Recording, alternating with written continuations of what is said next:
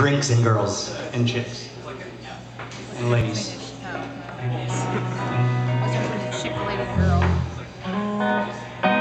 So this is a